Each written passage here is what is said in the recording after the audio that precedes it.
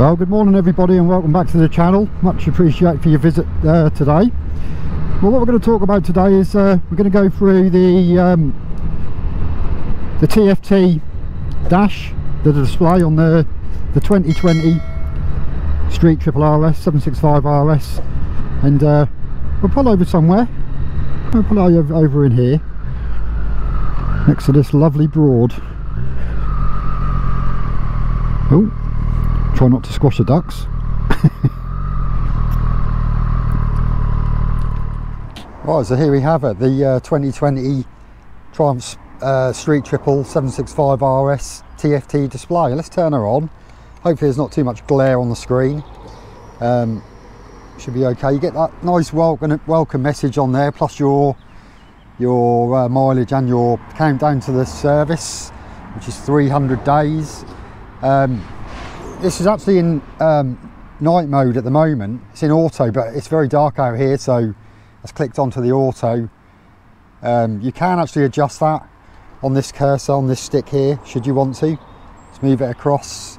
That's just gone on to day mode there, so, but yeah, you can move it across on the cursor, have it on high, low, or the auto. So it's currently on the auto, but I can move it across to the to the to the night mode, which will flick it back onto that one, and that will stay onto that one.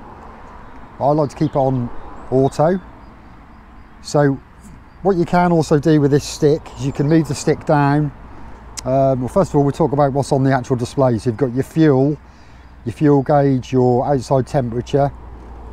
You've got your obviously your tachograph here, which I'll show you when I start the bike up in a bit. You've got your engine temperature here and your time here.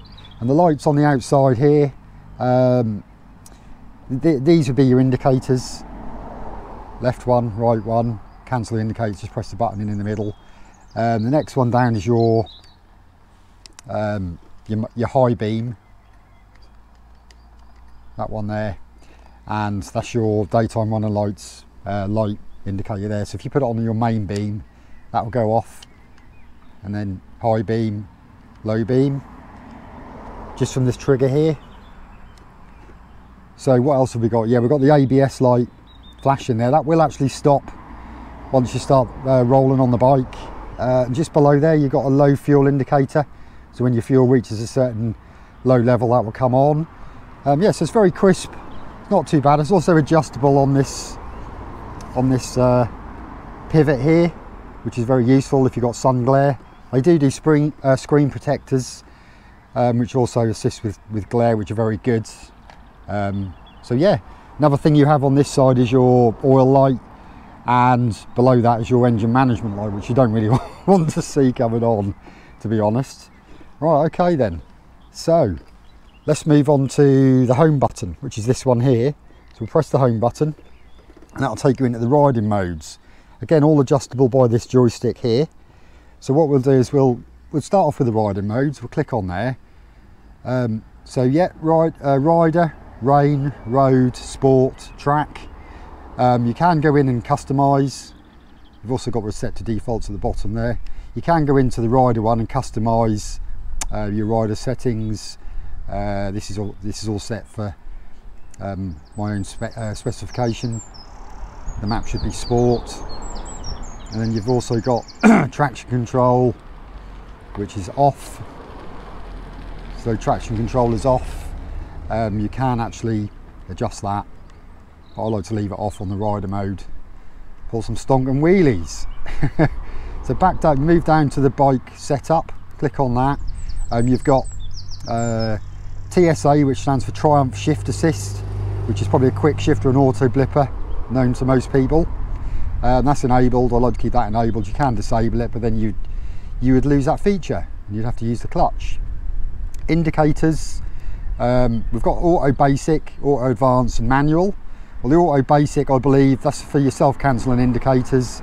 They go off after a certain distance travelled on the bike, um, which I leave on. I like to leave on.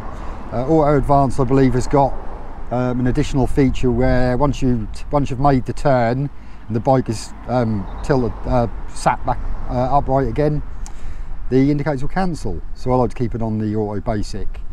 Traction control, I leave that on in, the, in my normal menu, my normal riding. Service, click on service. So what this has got is it's got the countdown. This is to your your next service due. So this is due in 5,325 miles or 300 days. So we go back on that. All I'm doing is just going back, is just moving the stick to the left there, and that will go back. So go down to the trip setup. So you've got uh, one, two, you've got two trips. You can display trip and have a look. So that's enabled, so that will display the trip. And we go back on that. Display setup. Well, this is for your colour, for your actual uh, display. So we can click on that. I, I like the, if you click on the colour, click on that one. Yeah, okay. The different colours. Um, brightness. You can go up and down with your brightness. High contrast, low contrast. I like to keep it up. So uh, we go just go back on that one on the cursor. Um, same again, brightness, low contrast. You can you can adjust that by moving the stick up and down to to move that. So you go left to go back, and to adjust that you'd go up, up or down on the little cursor stick. Uh, visible trays. Now this is what you can see on your main dash. So I've, I've got everything on there because fuel status, service interval, colour, style, contrast, everything, everything really. So gear shift indicator, I believe I've got that turned off. Um, you can you can have that turned on if you wish. Language, yeah, we're not going to mess with the language.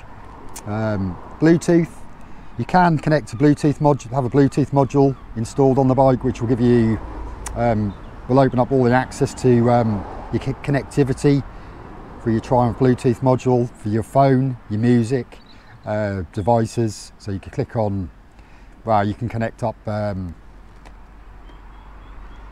you know, all sorts of devices uh, to that, a headpiece, um, yeah, so that's very useful.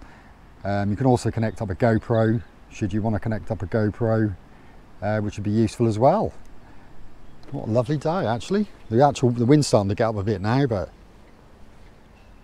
very nice. Um, oh, starting to roll there. so lap timer, if you if you're on the track, I know you're not supposed to use lap timers on the track, but start session. It's all done again by this cursor, so you could set you could set the lap timer up. Uh, yeah, erase lap data. Well, I haven't I haven't used that, so reset to defaults. We don't want to be doing that.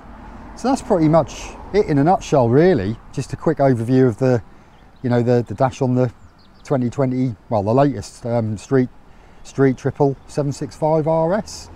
Um, what else can I tell you? Really, it's very crisp, very nice display. Like I say, you can you can get um, screen protectors, um, you know, which which also I believe double up as anti-glare screen as well um, which are very useful. But what I can also do actually is go press the home button. That'll take us back to the main screen. And yeah, I'll start the bike up and you can see, uh, oh, gonna have to pull the clutch in, try and do it. There we go. Just what I'm saying about the rev counters, quite, I've done another video on, on sort of this, but very difficult to see what the rev, revs are doing. But what you can actually do uh, I find it easier to read when it's on the night mode. So if we go down to, probably gone the long way here, long, uh, the long way round. Yeah, I have. But if you hit on the, the night mode, this is where your, your colours are more noticeable, the yellow, which I've selected. I find that a bit easier to, uh, to read but I do like to keep it on the auto so we've got that back there right. Okay so we'll turn the bike back off. Um, talk about the screen there. So you can also change uh, where we, if we go into this one I'm in style one at the moment so this is the style one screen. Style two will give you um, slightly different different screen which you'll have this one. So if you see here we've got I'm scrolling up and down by the the stick again so this is just displaying um, obviously your lap timer there, telling you you're on the lap timer setting. Uh, revs, this is quite handy actually if you struggle to read this section of the rev counter because you can, you know, this is obviously a lot larger to read. Um, still a bit of a pain there nevertheless but uh, this is for your music for your that's for your music that's if you wanted to connect a GoPro here so your GoPro you could control your Go, GoPro through through your uh, your switch gear although you would need the Bluetooth module. Uh, this would be for your turn-by-turn -turn navigation. Again you need the Bluetooth module to connect your phone call history SMS uh, this is quite a useful one so this is your distance.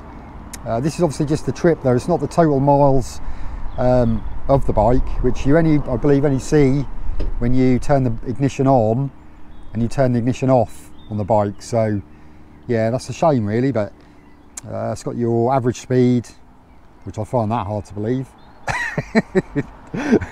So uh, duration and uh, then we'll move down another one here. Average uh, fuel consumption all of this will become live once the bike starts rolling.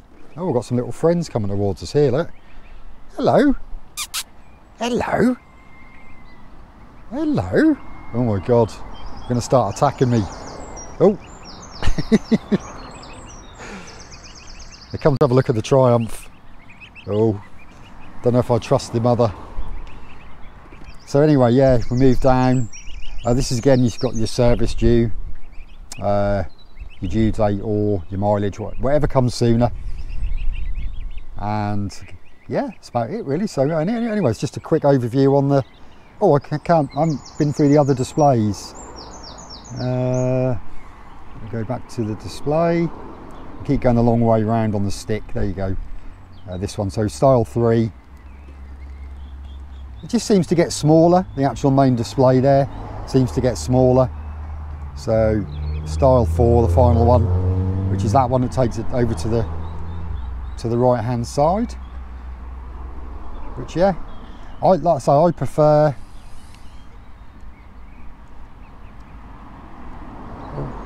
one second, trying to work it out myself. Here we go, up to the style, so back to style one, which is the one I prefer. Yeah, and that's it. So that's that's a, a good overview of um, yeah the TFT display. Like so, if you've got any comments or questions, feel free to, uh, to drop drop a comment or hit the like button. And uh, yeah, thanks for joining me, and uh, hopefully I'll see you on the next video. Take care. See ya.